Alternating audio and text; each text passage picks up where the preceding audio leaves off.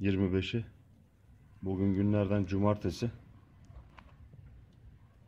Kurbağakaya'dayız. Uludağ'da oteller bölgesinde ikinci bölgede. İşte görüyorsunuz. Sabaha karşı başlayan kar yağışı. Her yeri Yine Bembeyaz yaptı. Caddede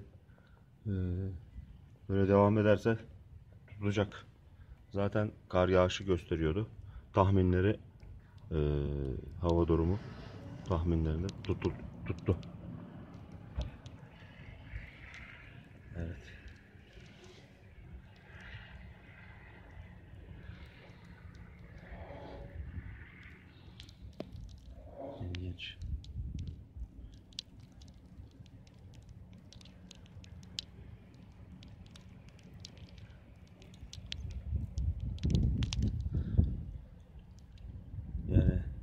Hızını biraz arttırsa akşama kadar devam etse belki yarım metre e, yerde kar olabilir.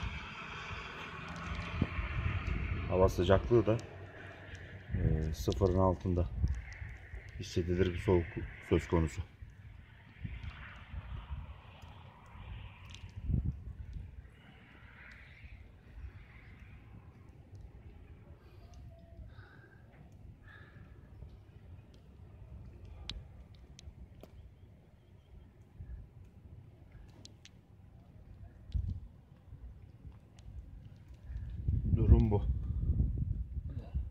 Her yerde kar var.